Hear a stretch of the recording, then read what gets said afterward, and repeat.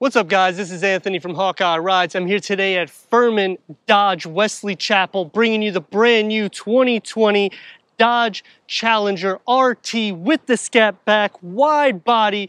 MSRP starts at $38,995. The model we have today is at $57,745.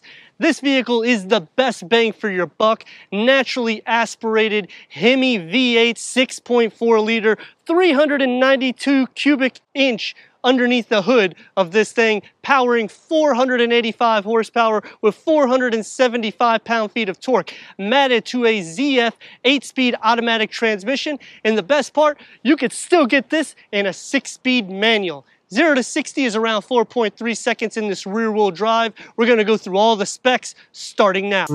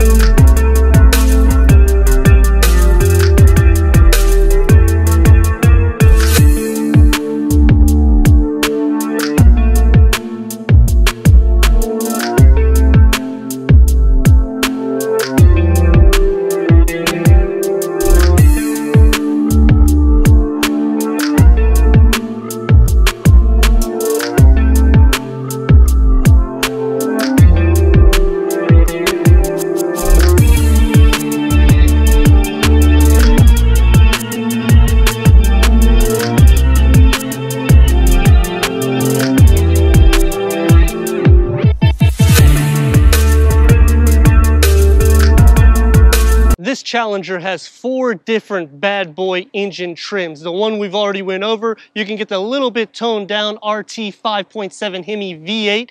That one has 375 horsepower with 410 pound-feet of torque. Standard on your SRT Hellcat would be a supercharged 6.2 liter Hemi SRT V8, 717 horsepower with 656 pound-feet of torque. It's crazy. But to beat that, they have a Hellcat Hemi Red Eye. That's a supercharged 6.2 liter Hellcat Hemi, 797 horsepower with 707 pound-feet of torque. On these models, you can also get your available active exhaust system, available three-mode electronic stability control with full on, full off, or partial off. That helps adjust any of the handling for your control. You're getting your LED daylight runnings, automatic headlights in the vehicle. You're not going to get as many flares as you would on other vehicles for the price point. However, what you're getting is a track everyday car that's worthy for the price point. The Scat Pack adds a 6000 premium and that's to add the 3.5 inches on the side of the vehicle, making the actual width at 79.2 inches and the height at 57.7 inches. Ground clearance on the vehicle isn't necessarily too bad. You do have this actual spoiler lip here and it is huge. It's literally like three to four inches long. So it really helps with downforce. The ground clearance is around 5.2 inches. You got that nice wide stance, the lines that run through the hood, very aggressive, gives kind of like a snake to a actual demon type look as well. I like the heat extractors that's on the hood and that intake. It just looks really nice and stylish on this Challenger. Before we talk about what the Dodge Challenger is that we have today, we should talk about what it was. The Dodge Silver Challenger had a two-year production run back in 1959. That was more or less the first Dodge Challenger. Then in 1970, the first generation came out off of the Chrysler E platform. This took components off of the Plymouth Barracuda, large wheelbase, around nine different engine trims and loads of trims. 1971, they had a facelift. They changed the grille, trim, and options. Here, new EPA cut different engine trims out of the production. Also, you'll remember, this is the same time frame of the Indy 500 where we had a wreck due to braking late and injuring multiple photographers. 1972 wasn't any better. That facelift that we added made the car look sad. The three engine trims were underpowered for what the car used to be with a 318 cubic inch V8 150 horsepower or a 340 cubic inch V8 with 240 horsepower or a 225 cubic inch 6 with 110 horsepower. No longer offering convertibles in the RT, buyers could opt for a sunroof.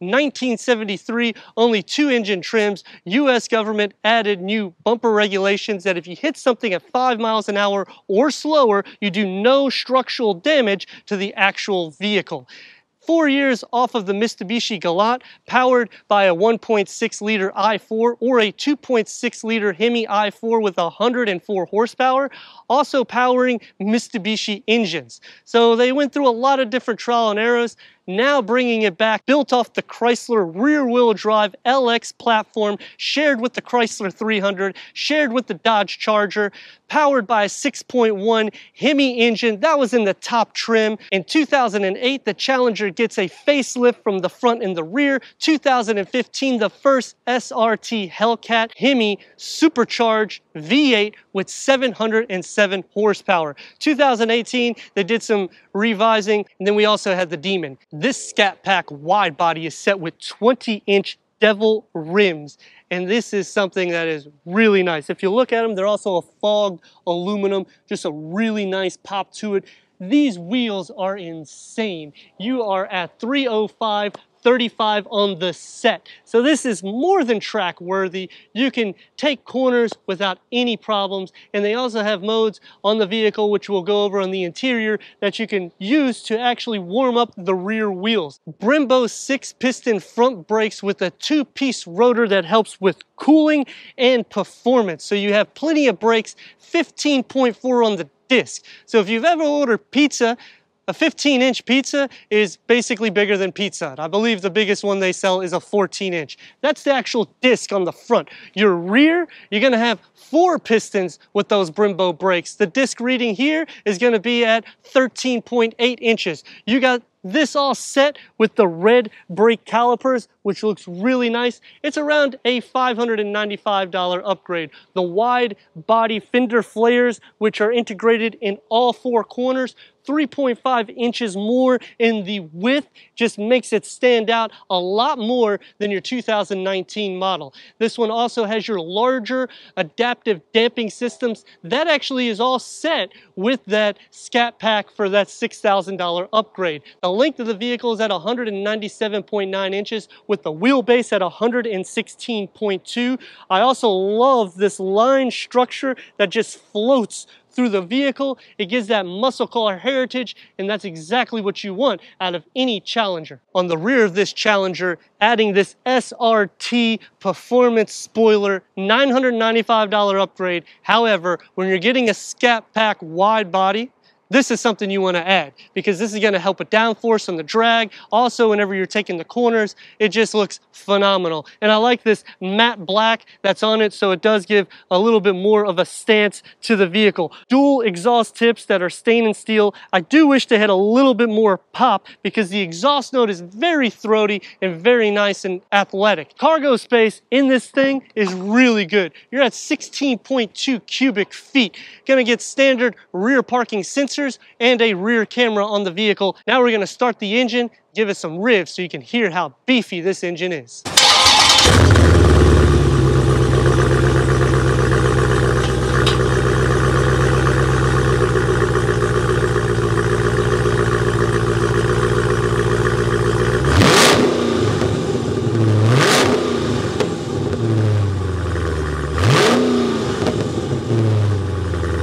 Key fob for this Dodge Challenger, as you can see.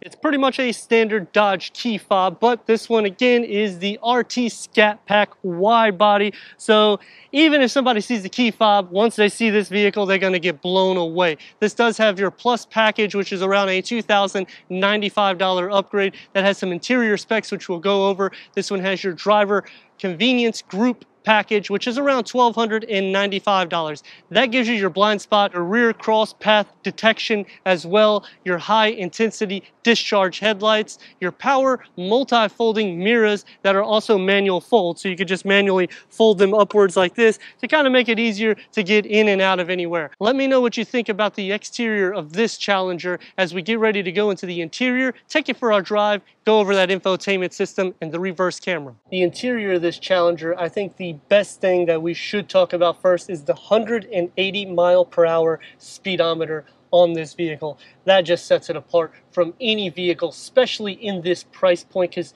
you can get this car around 40,000. Not specced out like this, but still, with 180 mile per hour speedometer, that's crazy. You'll also be getting the Scat Pack logos in the Nappa leather. That's also an Alcantara seat. That's also ventilated and heated, 10-way power adjustable with lumbar support for the driver, 4-way power adjust for the passenger. Your steering wheel, I wish that they had more of a bling. I do like the logo on the side of the Dodge. I just, because of the vehicle that I'm in, the wide body and the actual look through the hood, when I look at the steering wheel, I almost feel like I'm in a truck. It is a functional and it does have a nice leather wrap, heated. It has some perforated leather here. It's multi-function. Paddle shifters are not necessarily what I would have liked it's not ideally the setup that I would do, but it does have functionality on the back of the steering wheel as well for your 8.4 Uconnect touchscreen navigation. That itself is around a $709 upgrade. You get your Bluetooth connectivity, so your Apple CarPlay, your Android Auto. You're getting two USB ports and an auxiliary inside here with a pretty sufficient amount of storage. You can fit, you know, some lunch or, you know, a few drinks cup holders, real carbon fiber inlays and suede throughout the vehicle. That package is $1,595. We have that in here. This has the Alpine stereo system in it as well, so it does have a nice little pop. This vehicle has your 8-speed ZF transmission with remote start, leather wrap on the shift knob. This is around a $1,595 upgrade. It does make a nice little pop if you're not really accustomed to a manual transmission. 4G LTE is also available for your hotspot HD radio Sirius XM. Your headroom at 39.3 inches. It is a lot. Legroom's even better at 42 inches, and realistically, if you want, you can move these seats even further back, so you can actually opt that headspace and leg space. So somebody that's almost seven foot tall can drive this vehicle with no problem. That long hood, also, the way it's structured, you can actually tell where the ending is. So they did a really good job sculpting it. Leather dashboard, I really like that as well. This vehicle does have your launch control, which again, a vehicle at 38,000 MSRP to have launch control. That's a family car, that's a sports car, that's a drag car. You're getting all those worlds incorporated in the package of this 392 Scat Pack wide body Challenger. The rear of this Challenger, headroom at 37.1 inches, legroom at 33.1 inches. I have scooted down a little bit so that way I can actually fit more. The seat is in the position that I would be sitting and I can actually fit relatively comfortable. My head does graze the headliner, that's why I've actually scooted down a bit. That way my legs protrude. On the door panels, it's actually really cool because there's a little cubby here on the side that can be used for the back seat people. You have two cup holders here in the center and some AC vents. It is a dual zone climate control, so you do actually feel the air kind of circulate around the actual cabin, which is nice. We're gonna see how I fit in the center. All right, guys, this is obviously not the optimal sitting position for me. I do sit a little bit higher up because the seats kind of bow up. However, if there was people under six foot tall, you could possibly fit three people. I wouldn't necessarily recommend it at being six foot or higher, but it is a possibility even at the seats and the positions that I would be sitting in both of the front seats. However, sliding onto these sides is definitely more desirable. It does actually block the center ventilation for your air conditioned in the back, but the way the seats are sit, I do kind of feel cocooned in. I don't really feel claustrophobic. I feel like I'm getting ready to go into a race as we get ready to take this for our test run. 485 horsepower, it's just an immense. The vehicle sounds really nice. Right now I'm just driving it at a low RPM. So we're only hitting two RPMs to just let you understand how loud this engine really is. We're gonna do a turn radius and we're gonna give it some gas and we're gonna see how well this vehicle performs. In your turn radius, this is at a complete stop. You're gonna be getting about a lane and a half, which is really nice as well. Flooring it.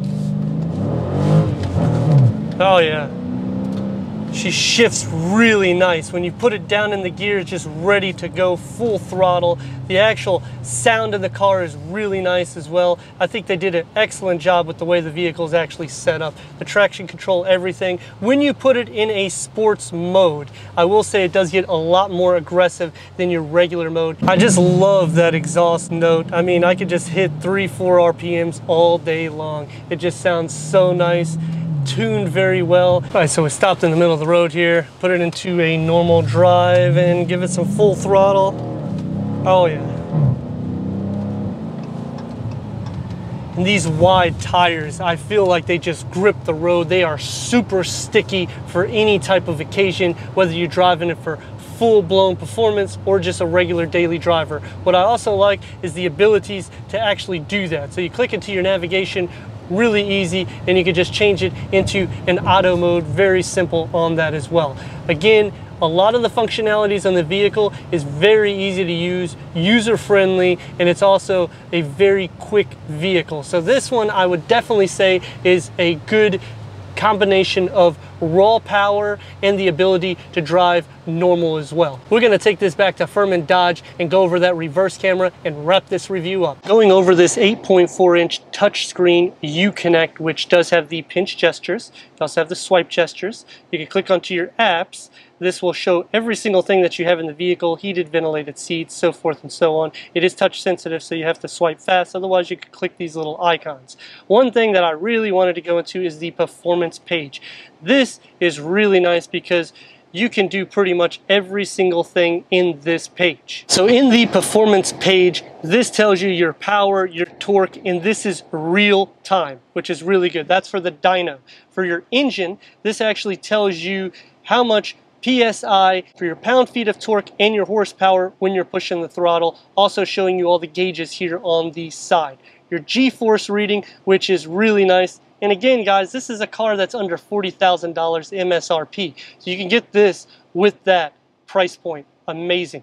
You got your gauges here, which is also really nice. It tells you your transmission temperature and your intake air temperature. You also have your timer set here for your drag strip. And look how in depth it goes. It literally tells you from an eighth of a mile, a quarter of a mile, a thousand feet, so forth and so on. You can also click over here and it'll tell you how good you are for acceleration, for braking. You can save all your data and you can do it also with a USB as well.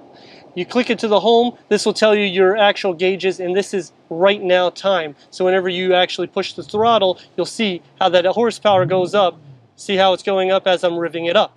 Just a really cool little thing. Clicking back into your apps, you also have your Wi-Fi hotspot, you also have your active services. This one is really interesting, the marketplace. Unfortunately, because the car isn't activated, we can't really use it. But this, you can actually add things, and you can also do things like booking reservations for restaurants, so forth and so on. You have your climate control, your navigation, Apple CarPlay, Android Auto, yada, yada, yada.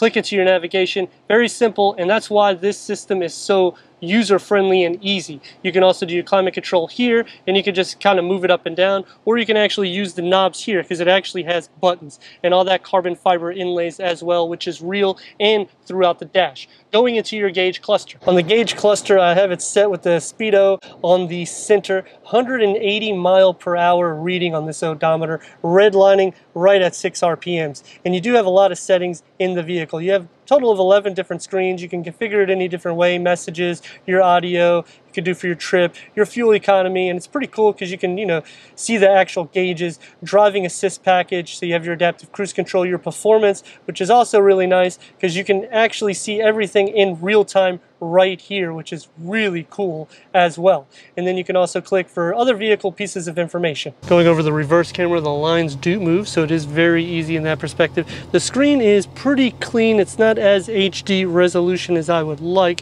and you can see the finger residue does get on the screen. You do have the sensor functionalities in your odometer here for your rear as well. I'd like to thank Christina and Chris here at Ferman Dodge in Wesley Chapel for giving us this 2020 Dodge Challenger RT Scat pack wide body for our car review. If you're already a subscriber, thank you for being part of the Hawkeye community. If not, click the subscribe button, check out the merchandise, the details, and everything we do here at Hawkeye Rides.